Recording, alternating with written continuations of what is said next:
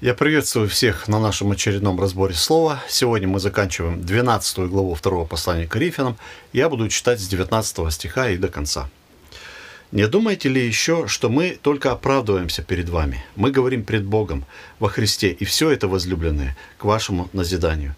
Ибо я опасаюсь, чтобы мне по пришествии моем не найти вас такими, какими не желаю, также чтобы и вам не найти меня таким, каким не желаете, чтобы не найти у вас раздоров, зависти, гнева, ссор, клевет, ябед, гордости, беспорядков, чтобы опять, когда приду, не уничижил меня у вас Бог мой, и чтобы не оплакивать мне многих, которые согрешили прежде и не покаялись, нечистоте, благодеянии и непотребстве, какое делали.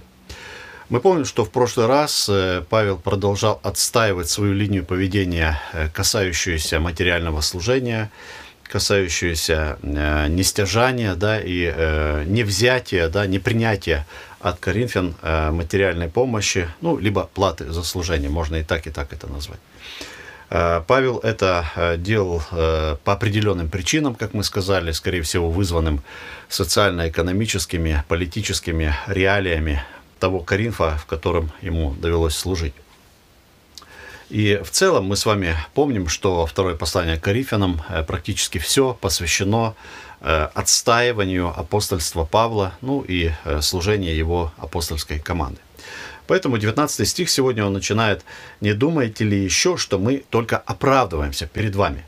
И действительно, э, вот это э, апологетическое послание можно считать оправданием, можно считать обоснованием апостольского авторитета, да, апостольского служения Павлова.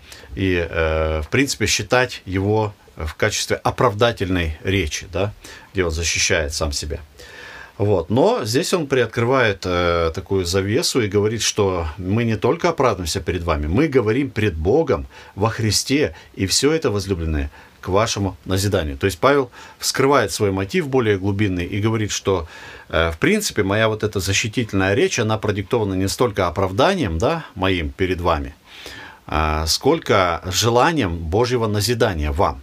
Потому что когда мы говорим перед Богом во Христе, когда мы выверяем свои слова, когда мы пытаемся говорить э, наши слова как слова Божьи, как апостол Петр в одном из своих посланий сказал, то, э, естественно, это приносит какое-то назидание. И, конечно же, Павел здесь высвечивает и подчеркивает другой мотив, который он преследовал при написании данного послания. Принести назидание. И действительно, этот мотив был соблюден, и мы с вами это назидание получаем. Не только коринфяне, но и мы с вами. Потому что та глубина мотивов, глубина э, обоснования да, или обуславливания движущих сил служителя и человека во Христе – Э, как во втором послании к Коринфянам, больше нигде, наверное, так не высвечивается. Поэтому это и приносит назидание.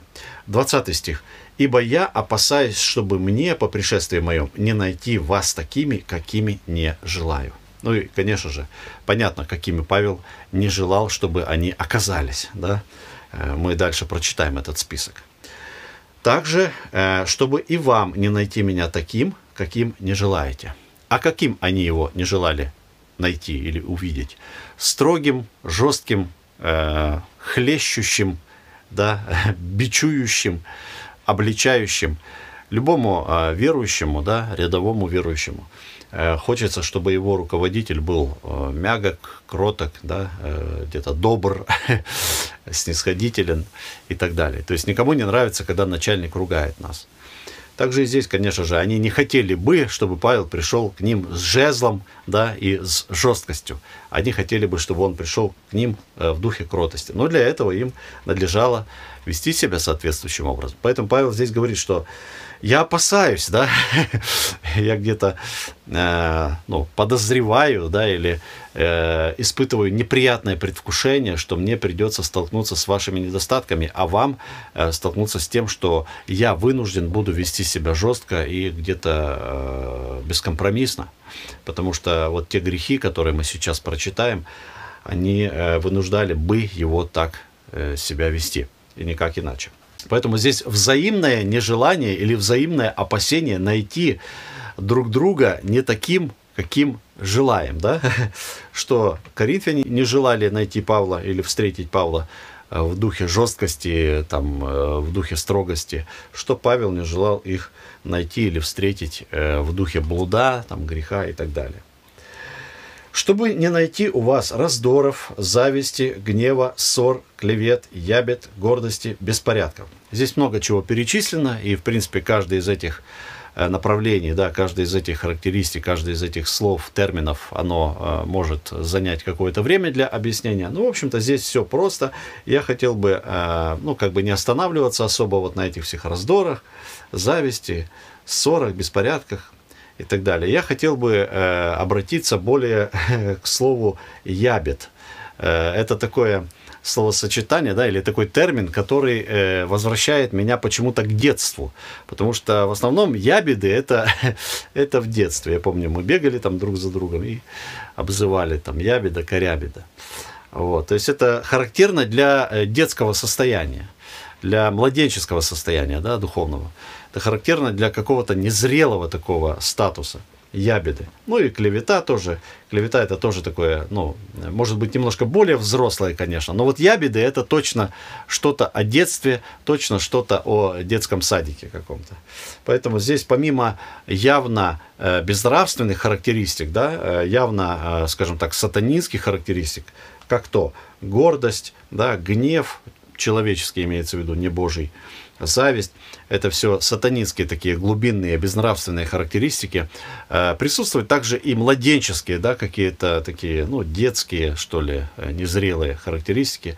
Они не так уж и невинны, конечно же, но на фоне гордости, э, на фоне зависти, ну, они выглядят как-то более, что ли, смехотворно, да, ябеды, там, клевета, бегают, как в детском садике, друг за друга чего-то за спиной обсуждают, там, и клевещут, и ябедничают и так далее.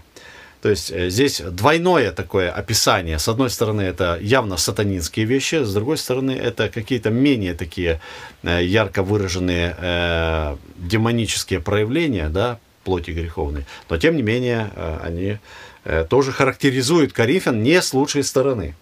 21 стих. «Чтобы опять, когда приду, не уничижил меня у вас Бог мой». И в чем это уничижение состояло бы?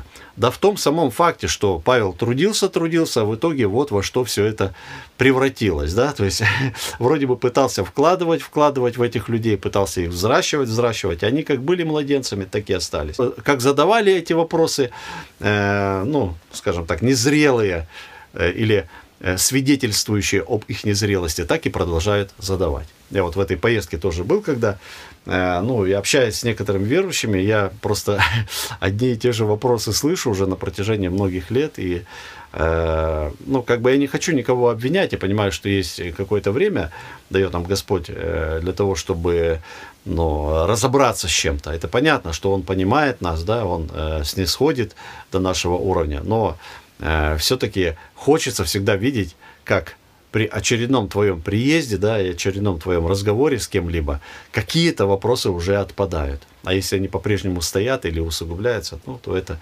конечно же, печалит. Ну, а тем более Павел, он, э, значит, рассматривал Коринфян как своих подопечных, как своих детей, которым он желал, безусловно, духовной зрелости. И поэтому уничижение здесь состояло как раз-таки в том, что они остались детьми. Несмотря на все усилия Павла, несмотря на все его старания, несмотря на все его потуги, да, и прилагаемое напряжение его духа и тела, они так и оставались детьми. И вот в этом состояло уничижение. Ну, может быть, еще уничижение э, состояло бы в том, если бы он повел себя как-то ну, чрезмерно жестко. Да? То есть он не хотел бы так себя вести, он не хотел бы испытывать эти эмоции, он не хотел бы предстать перед ними в таком свете, но пришлось бы предстать, потому что никуда не денешься.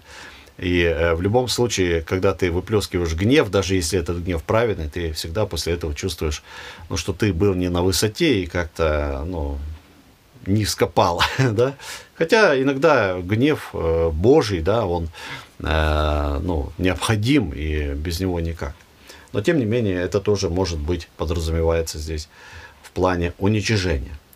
И чтобы не оплакивать мне многих, которые согрешили прежде и не покаялись в нечистоте, блудодеянии и непотребстве, какое делали. Ну вот еще один момент уничижения – это оплакивать, да, то есть э, для мужчины, да, плакать в присутствии всех людей, да, там, в присутствии женщин, в присутствии общественности, это, ну, как бы немножко уничижительно. Но никуда не денешься, когда вот такое горе происходит, о котором здесь Павел написал, ему пришлось бы плакать. Тоже, наверное, и это имеется в виду. Но я хотел бы подчеркнуть вот эти три направления. Нечистоте, блудодеяние и непотребстве, какое делали. Нечистота она относится к мыслям, она относится к сердцу, она относится к каким-то эмоциям, да, к каким-то желаниям. Это что-то глубинное, духовное. Блудодеяние, ну, тоже, конечно, можно считать духовным, но оно, как правило, выражается в каких-то внешних поведенческих реакциях. И здесь, скорее всего, Павел имеет в виду э, классическое блудодеяние, не просто внутреннее, а ну, блудодеяние физическое, да, внешнее, материальное физиологическое, да, если хотите. Вот. Нечистота – это что-то более потаенное, внутреннее. Блудодеяние – это что-то более внешнее. И вот, наконец, непотребство. То есть э, мы с вами не очень-то часто придаем значение этому слову. Оно как-то э, ну, не является каким-то четким, да, оно какое-то расплывчатое и неконкретное. Потому что для одного непотребством может быть что-то одно, а для другого что-то другое. И вот здесь нам важно не лукавить и э, быть искренними самими собой, и заглядывая в свое сердце, отвечать на вопрос, а что для меня является непотребством. Да, то есть мы можем делать вполне себе какие-то негреховные заведомо вещи, но которые для нас, тем не менее, могут оказаться непотребством. Потому что нечистота и блудодеяние – это что-то четко, ясно, э, ощутимое, различимое, очерченное. Да?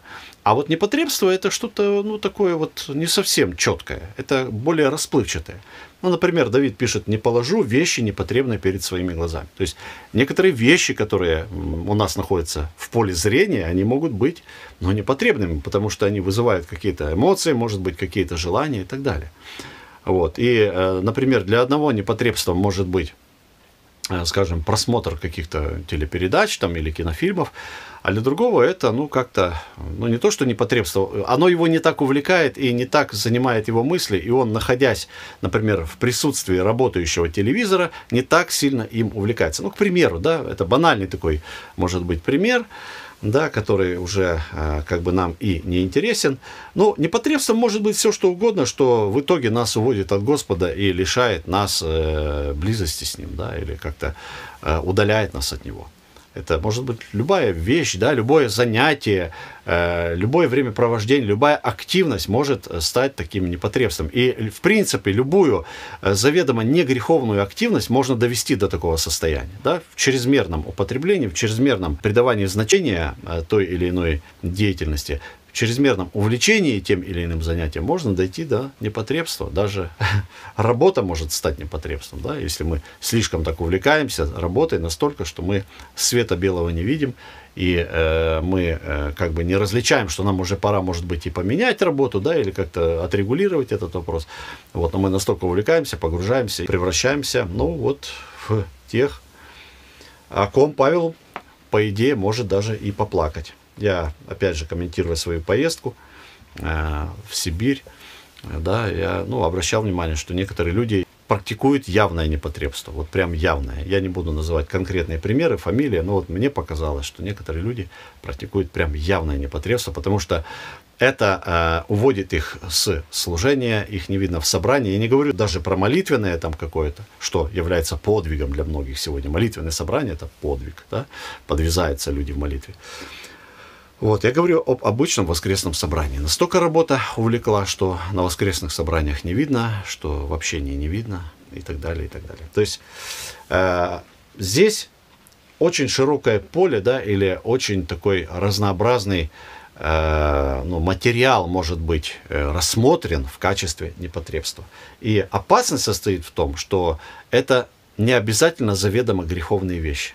Это может быть вполне что-то не греховное само по себе, но доведенное до крайности, оно превращается в непотребство. Поэтому такие вещи, как нечистота и блудодеяние, это уже, ну, как бы достаточно понятные вещи, на каком уровне это все происходит и так далее. А вот непотребство я хотел бы подчеркнуть, и Павел об этом тоже упоминает и говорит, что в этом тоже нужно каяться, нужно это отслеживать, нужно это вовремя останавливать, а если не так, то придется плакать, тем, кто об этом печется, да, о отсутствии непотребства. Придется плакать апостолу, там, пастору или еще кому-либо.